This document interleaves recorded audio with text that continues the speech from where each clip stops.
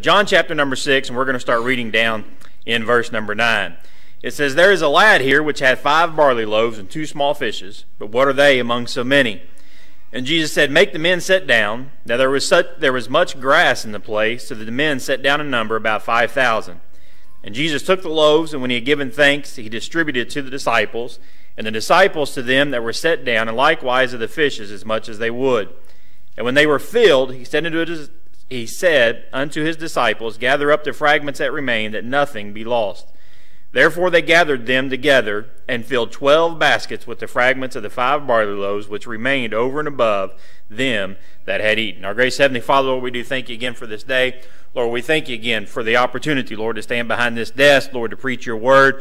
Lord, it's just such an honor and a privilege, Lord to be able to do anything for you, Lord. We ask you just help us this morning, be with our pastor and help him. Lord, we just ask you break revival out down there today as well, uh, Lord, and share some of them, some of the stuff that's been going on here. Lord, I ask you just help me this morning, be with what you laid upon my heart. Lord, just help me to convey it to your people the way you gave it to me. Lord, it can be a help, a strength, and encouragement to each and every one of us here this morning. In Jesus' name we pray. Amen. The first thing I want to look at by way of introduction is verse number 9 is I want us to look at the presence that's required. Uh, he talks about there's this lad here. Now keep in mind our problem is too many times is, is that is all we are, is we are here. It required that lad being willing to give up his lunch. It required that lad to be in the presence to know what was going on. Uh, you know, it's not about just being here this morning.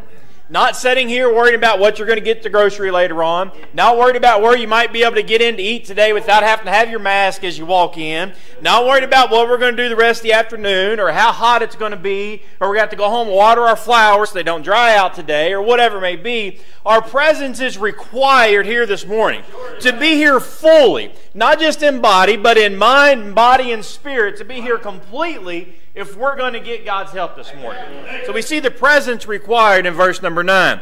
The second thing in verse number 9 I've seen is we see the um, perplexed regime. They had, we had the five barley loaves and two small fishes, and they said, But what are they among so many? Why are we perplexed so often with what God does? Why are we perplexed so often when we're faced with that storm? We're faced with that storm, that thing that comes up in our life, like, how's God going to get us through this? Why are we always find that so perplexing? Because time after time, He's been faithful to get us through whatever it is we've gone through. Time after time, we can look at other people's lives and see how He's touched them. And if He's done it for them, He'll do the same thing for us. We see the perplexed regime also in verse number 9. But then I want us to look at verse number 10 is we see the partakers that are registered. And it says, and Jesus sat down, make the men sit down, and it tells us at the end the number is about 5,000. Well, not only just 5,000, that's just the men. Because in Matthew chapter 14 and verse 21, and they had eaten were about 5,000 men beside women and children. So we know, we, we now have an idea of exactly how big of a miracle this is going to be uh, when we see how many people are setting down uh, that are about to partake of, of this little lad's lunch. But in verse number 11, I want you to see the presence, how it's about to get real. And Jesus took the loaves, and when he had given thanks, he distributed to the disciples, and the disciples to them that were set down, and likewise of the fishes as much as they would. Now, this is going to be the first spot I'm going to have to ask you to use your imagination here a little bit. This is how real it's about. Uh, put yourself in one of those disciples' positions, going around and passing out to people. Now think about it. If you go back and we know uh, in, verse, we go up in verse number eight, and it talks about Andrew and Simon Peter. So we'll just use those two. Can you imagine An- Andrew hollering over to Simon Peter, brother Jordan? Hey, how much do you have left? I've been to a thousand people. And My basket's fuller now than what it was when it started. How much do you still have left? See, when, when we realize some of the things that God's done for us at times, that's when that presence will begin to get real. That's what a little bit of what happened at revival. It just became to get real to us. We see how God touched us and how God can do things and how God moved to the service. And, and you've seen people get right and see people get saved, and that presence becomes real. I've said many a times, from the first time that Brother Doug ever shared this story, I want that presence to get so real that we all smell it. Yeah. Uh, I could I could tell you that story. I'm not trying to be uh, say he set it off. I, I could tell you that story almost as good as he could because I want to be able to smell it. Right. I want to hear him walking through the leaves that he talked about in the mountain that time. I want that presence to get just as real as it was here. Not only we see the presence get real, we see the people rewarded. When they were filled, he said unto his disciples, Gather up the fragment. When, he, when they were filled, that's what I wanted to stop at. We see the people get rewarded. They were willing to sit there and listen to what Jesus was teaching them, listen to what he had to say, and then he gives them enough food that what? They were filled. Yep. They didn't all just get a little scrap. They didn't all just get a little fragment. They got filled. When we are when we are willing to come and we're willing to allow His presence to get real, and we're willing to be uh, completely present, we'll get filled. We will walk out of here filled with whatever it is that God has for us each day. And each one of us is different. That's why you could have the pastor come in or anybody come in and preach a salvation message, and you could be saved for 30 years and still walk out of here just as joyful as if somebody had gotten saved. Sure. Because his presence can be real and we can get rewarded. But the last thing, by way of introduction, went that introduction a lot faster than I thought. Y'all better get your mask loosened up so you can go out and eat, right? But in verse number 13, we see the product that was remaining. It says, Therefore they had gathered them together and filled twelve baskets with the fragments of the five barley loaves which remained over and above them that had eaten. Twelve baskets. That little lad had a lunch of five barley loaves and two fishes. And after he was willing to give it to Jesus and allow Jesus to bless it and allow all those people to be fed, he had 12 baskets left over. And what I want to preach on with God's help this morning is when you carry your baskets home. I want you to use your imagination. Think of that little boy. How many people might have seen him pass as he was going wherever he was headed that day? And he ends up in this crowd of people, and now they see him come back with 12 baskets full of food. I didn't think he was going to the market, young man. Oh, I wasn't going to the market. Let me tell you where I've been today. Let me tell you what I see today. And we'll get to all that in a little bit. But when we will carry our baskets home, there's a couple things that it'll show us. Number one, it'll show us how to be humble. Because when you sit down and you really are willing to count your blessings, when you are willing to sit down and realize all that it is that God's done for you, it should humble you. It should put you in that state to realize just how good God's been to you. But see, too many times we get to look at what everybody else has. And we get to looking around at how we think God has blessed everybody else. We lose sight of how good God's been to us. Yeah. We lose sight of everything that God's given to us from uh, whether it be our home, whether it be uh, our vehicles, no matter what it is, we lose sight of what it is that God's done for us. Sure. You know, I remember seeing a video, I don't remember when it was here a couple weeks ago, and talking about you know, this guy pulled up at, at a stoplight, I believe it was, next to a car, and he looks over that guy next to him. That guy next to him, he's got a car, you know, probably worth as much as that guy's house. And he's like, well, I sure do wish I had that car. And that guy goes home and, and he goes in and he goes up to his wife, and his wife, uh, I, I can't remember now, I think she was just like in a wheelchair. And you don't see that. And she looks out and she sees somebody running that just, just running along the sidewalk and how much she wishes she was there. See, we have a lot to be thankful for. Right. A lot that we take for granted every day that we have the ability to just get up and walk around. We have the ability to just move. And, and we just don't give a second thought at times. But if we're willing to carry our baskets home, if we're willing to realize the blessings that God has given us, it'll show us how to be humble. Not only will it show us how to be humble, it'll also help slow us down. I had a fellow at work on Friday or Thursday this past week, and, and he works in a different department. I don't get to see him very often, much anymore. And I asked him how his family was. And he goes, Well, he said, everything's good. He said, My, my son, he goes, he's really gotten into T ball. He said, Man, it just seems like it's T ball three, four, five nights a week right now. I was like, Oh, just wait. It's only going to get worse, brother. I said, It's only going to get worse. I said, He's still little right now. I said, it's only, I remember this time of year, uh, even three years ago. You know, we uh, Bella would have cheer practice three nights a week, and Caitlin would have practice two nights a week, and she'd work the other uh, two days a week or whatever, and we was running people everywhere, it seemed like. Not anymore. You know, we just, Caitlin throw her own keys and tell her you just go on do whatever you're going to do, and Bella's not cheering right now, so it's nice to have that little bit of free time.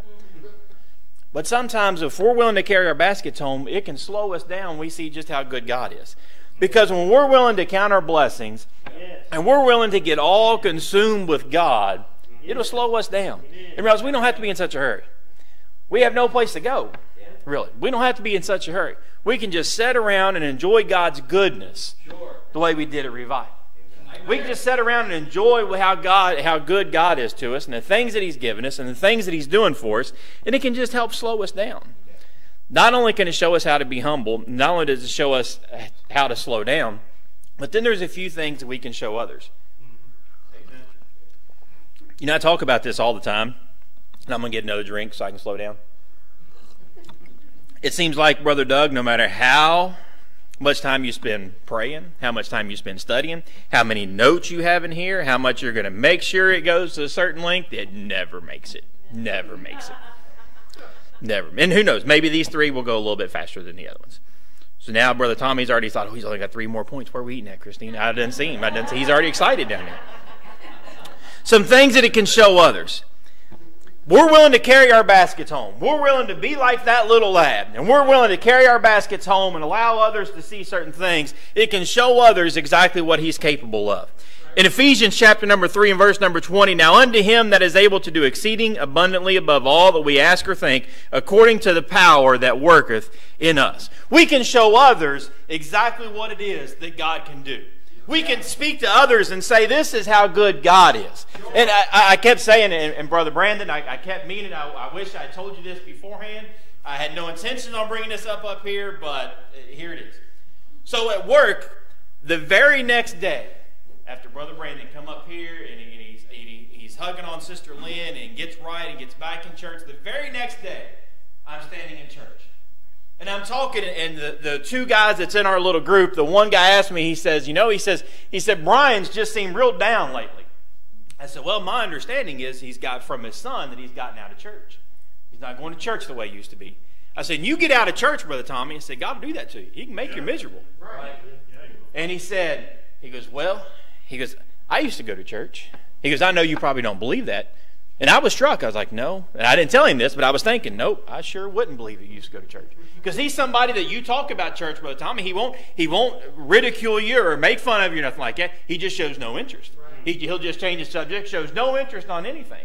He says, Yeah, he said, I used to be in church all the time, Brother Jordan. He said, I used to be, every time the doors were open, he said, I was at church. I'd go out on visitation. He said, I'd do anything. He goes, and I just kind of got out. He goes, It's hard when you get out to get back. I said, Well, let me tell you what happened to my church last night. I said, We have a fella. I said, It's been out for 30 years. And his eyes lit up. Really? I was like, Yeah. I like, You can go back to church, Bill. You can get back in church. Well, I know the church up where I'm at. I really like that preacher. I really, I'm, then go back to church. And I don't know if he'll end up going back to church or not. But it just shows we can have something we can tell people just what God's capable of doing. Bill, you've not been out 30 years. It hasn't been that long, so don't tell me God can't. When we're willing to carry our baskets home, we can show others just what God's capable of. Think of the people as that lad, lad walked back home, all the people that he might have and he's like, What? Where'd you get all that? Well, let me tell you what Jesus did today. He took that little basket of five loaves and two fish that I had, and this is what I have left over. After he fed over 5,000, we can show others what he's capable of. Not only can we show others what he's capable of, we can show others just how good he is. Look again in verse number 14. Then those men, when they had seen the miracle that Jesus did, said, This is a truth that the prophet should come into the world. When we're willing to show others, we can show others exactly how good he truly is. They were able to see there in verse 14. Those men, they had seen the miracle that Jesus did. When we're willing to carry our baskets home, we're willing to go out into the world and show others, we can then show them just how good he is we talked about the blessings and things like that of God because too many times what happens is we look at those that are blessed and we look at those that have things going for them, and unfortunately, in the world we live in today, our mind immediately goes to bad things. Well, they're getting that because they're cheating somebody. They're getting that because they're doing this or they're doing whatever. And that's not the case. You could tell people, no, this is just how good God is. Let me tell you what I come from. Let me tell you what, what, what I knew growing up, and this is what God's done for me. Right. These are the people along the way that He put into my life. Yeah. These are the jobs along the way that He blessed me to have, and this is how He's blessed my life. And we can see that miracle in Him. They can see that miracle in us performed by Him. We can show others exactly how good He is. Brother Tommy, if you was paying attention, that was two. This is it, buddy.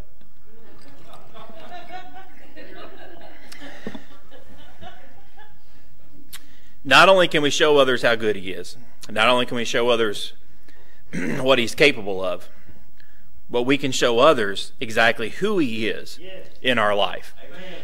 In Psalms chapter 18 and verses 1 through 3, it says, I will love thee, O Lord, my strength. The Lord is my rock and my fortress and my deliverer, my God, my strength, in whom I will trust. My buckler, the horn of my salvation, my high tower. I will call upon the Lord, who is worthy to be praised, that I shall be saved from mine enemies. When we're willing to carry our baskets home, when we're willing to do and show how God's blessed us, we show others exactly who He is to us. We was driving home Wednesday night after Brother Phil preached. And Bella asked, You preaching Sunday? Yes, Bella, I'm preaching Sunday morning. You got this. You got this. And I was sitting back here thinking this morning, I had some other stuff already in my notes, and God said, You need to put this in there. God doesn't say, You got this. God says, I got this. God says, I got this. Whatever it is you're going through, I got this. What's he tell us in John chapter 10 and verses 28 through 30? It says, And I give unto them eternal life, and they shall never perish, neither shall any man pluck them out of my hand. My Father which gave them me is greater than all, and no man is able to pluck them out of my Father's hand. I and my Father are one. See, God tells us, I got this. And when we are willing to go out and show others how good God's been to us, sure. we show others exactly who He is to us. And that's when others can look at us and say, How is it that you faced uh, uh, cancer, Brother Jack? How is it you faced this, Brother or Sister Mary? How is it you faced all these things and nothing ever changed about you? You say, Because how good my God is. That's how good my God is. Amen. So I ask you this morning we came off two full weeks of revival and as well as a weekend meeting. Did you carry your baskets home? Or is everything still stuck up here inside these walls? Have you gone out and told others about what God did at Immanuel Baptist Church? When you say, when you walk into the workplace on a Monday, or you walked in during those week meetings, you walked into the workplace on Tuesday or Wednesday or whatever day it was, and, and somebody told you, said, Boy, you just look excited, Brother Donald. Do you say, Yeah, I, I just had a good night last night? Or did you willing to share and say, Let me tell you what God did at our church last night? Mm, yeah. Because, see, it, it's very easy to just get caught up and, and, people look at you and see something different about your countenance and you just say, Yeah, just I'm, life's been going pretty good right now. Or are we willing to carry our baskets home so that they can see those things and say, Let me tell you how good God's been to me lately. Yeah. Let me tell you how good God has been. It's not because that, that I deserved it. It's not because I'm anybody special. It's just because that's how good God is. Amen. That's right. Or do we keep them all inside here? Or have we kept them all inside here? How many times have we said, we want to see God do something with Immanuel Baptist Church? He can't do that if we're not carrying our baskets home. He can't do that if we're just coming and setting in meeting and we're setting in revival and going through the motions and enjoying God's goodness and, and can't wait for the next one, whenever it may be, and, and just come and go as we please if we're not taking it out there. Yeah. The only way we're going to see God truly do something is to take it outside there. This young lad, he could have just stayed right there. He could have stayed right there. And I don't know what, he, but just imagine of him going home, the effect that it had on all those people that he passed. Imagine the effect that it had on all those people as he went by. You know, I've often thought about, you know, since we, we were, uh, uh, Brother Jordan was about to call him the book of Noah this morning, I've often thought about Noah. Think about Noah building that ark. Spending all that time on that ark. How many people do you think walk by making fun of him? Yeah. Amen. True. How crazy is he? We never seen rain before. What's he talking about? We need this boat because it's going to flood. This man's lost his mind. Yeah. How many times, Brother Phil, you think those people continue to pass that way though before it had an effect on them? Sure. You know, he might be onto something. He's not. He's not quit this. He's still going. It's been 30 years and he hasn't missed a beat. Right. It's been 40 years and he hasn't missed a beat. We can make fun of him all we want, but you know what? His God's doing something for him that he believes he needs this. That's good. Yeah. Amen. How often are we willing to take our baskets home and go out and show others? This lad could have not even shared his lunch, obviously. But he could have stayed right there. Are we willing to take our baskets and say, let me show you what God's done for me? Let me tell you what God's done for us at Immanuel Baptist Church. Now, I said, you're going to have to use your imagination a little bit this morning. Imagining that lad just walking home, six baskets on each arm. I don't know. Maybe he's got four on each arm, two hung around his neck, just, just uh, uh, skipping on his way home. Can't wait to show mom and dad what Jesus did for him. Yeah, yeah. Did we go out these walls, out these doors the same way? Or we walk out there today with pooch mouth, too worried about this, too worried about that, too worried about uh, uh, Josh got us out too early this morning. Uh, I was going to go someplace and eat, and they don't even open till twelve thirty, and now I'm going to miss it. what's what's our attitude outside of here? Sure. Because it's that attitude outside of here is what everybody sees. Right. That's the only way we're going to get them into here. And they need to see exactly who God is to us, how good God is to us, Right. if we're going to see them get in church, get in revival, and we're going to see the church just bust at the seams and see this community turned upside down. This world needs it. God wants to do it, but it's going to be up to us willing to carry our baskets home. Everything that God's done for us outside of there, instead of keeping it here. I'm done, Brother Jordan. You come ahead. If you enjoyed today's broadcast, head on over to your App Store and download the IBC Florence app today, where we have our music, sermons, videos, devotions, and much more. And as always, thanks for listening.